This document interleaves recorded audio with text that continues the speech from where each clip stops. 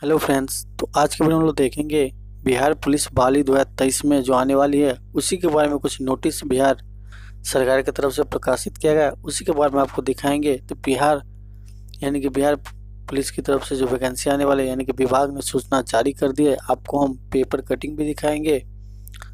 तो दोस्तों टोटल सौंसठ हज़ार पदों पर होगी बहाली, यानी कि टोटल सौंसठ हज़ार पदों पर होगी बहाली, जिसमें आपको पोस्ट रहेंगे।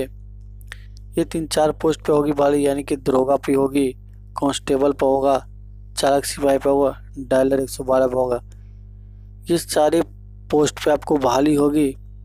और बात करें कि आपको, अब जो भी कांस्टेबल दरोगा, सिपाही या डायलर किसी भी, यानी कि बिहार पुलिस में जो भी नौकरी करना चाहते हो, आप तैयार हो जाए, बहुत जल्दी आपको ऑप्शन नोटिफिकेशन देखने को मिलेगा। विभाग ने ये पेपर कटिंग के माध्यम से पूरा डिटेल बता दे, आपको हम पेपर कटिंग आपके साथ शेयर करते हैं। आप ध्यान से पेपर कटिंग को पढ़ना, वीडियो को पॉज करना और आराम से पेपर कटिंग को रीड करना। ये पेपर कटिंग जो सौसठ हज़ार नए पदों पर भर्ती किया जाएगा, ये हिंदुस्तान का है। दास का पेपर कटिंग आप देख सकते हैं, इसमें साफ़ साफ़ दिया हुआ है कि सौसठ हज़ार नए पदों पर जल्दी भर्ती किया जाएगा। यानी कि बिहार पुलिस ने सूचना जारी कर दी है। आपको बता दी कि इसमें टोटल खर्च भी बहुत ज़्यादा खर्च, बिहार पुलिस खर्च कर रही है बहाली के लिए कि बहुत सारे वैकेंट खाली है। अभी तक बहुत सारे वैकेंट खाली आपको बता दें कि ये सौंसठ हज़ार पदों में आपको सौंसठ हज़ार पदों में अड़तालीस हज़ार चार सौ सतासी पदों पर सीधे नियुक्ति किया जाएगा। सीधे नियुक्ति के बाद बीस हज़ार नौ सौ संतावन दरोगा होगा और सिपाही के लिए पाँच हज़ार पाँच सौ पद और सिपाही चालक के लिए और सिपाही के लिए बाईस हज़ार दस पद टोटल सिपाही के लिए बली किया जाएगा।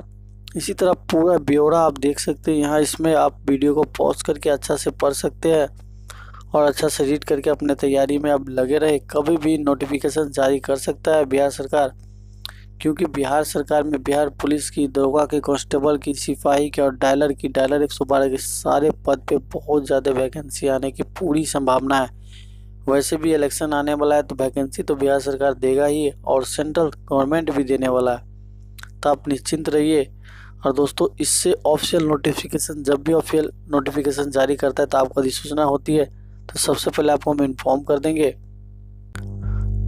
तो चैनल पर नए होंगे तो चैनल को प्लीज़ सब्सक्राइब कर से। जुड़ी कोई भी अपडेट आती है बिहार सरकार की तरफ़ से, बिहार की ऑफिशियल वेबसाइट पर तो आपको सबसे पहले इन्फॉर्म किया जाएगा। अभी बस इतना। पेपर कटिंग आया है कि सौंसठ हज़ार पदों पर दो तेईस में बहाली आने वाली है, बिहार सरकार की तरफ़ से दिया है। जैसे बिहार सरकार को सुशासन बाबू कहा जाता है, नीतीश कुमार को, जैसे हम जो कहते हैं, वो डेफिनेटली करते हैं। हमें यूँ ही नहीं सुशासन सरकार कहा जाता है। तो देख सकते हैं सौंसठ हज़ार पदों पर जो बहाली आने वाली है, जिसमें पद तो आपको पहले बताया, दरोगा के लिए बीस हज़ार नौ सौ सैंतीस पद होगी, सिपाही के लिए बाईस हज़ार दस पद होंगे चालक सिपाही के लिए पाँच हज़ार पाँच सौ पद हो गए। डायलर के उन्नीस हज़ार दो सौ अट्ठासी पद हो जाए।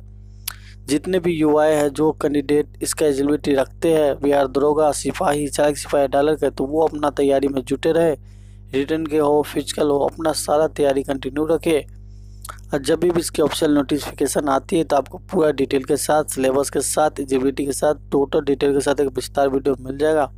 बस इस वीडियो में आपको इतना इन्फॉर्म करें कि बस वैकेंसी आने वाली आप बैठिए नहीं, अपना पढ़ाई में लगे रहिए। जो भी न्यू अपडेट आती है तो आपको साथ में शेयर किया जाएगा। तो हमारे चैनल पर अगर आप तो अभी तक आप नए हैं तो चैनल को प्लीज़ सब्सक्राइब करें। वीडियो पसंद आए तो लाइक शेयर ज़रूर करिएगा। तो मिलते हैं नेक्स्ट वीडियो में। धन्यवाद। जय हिंद।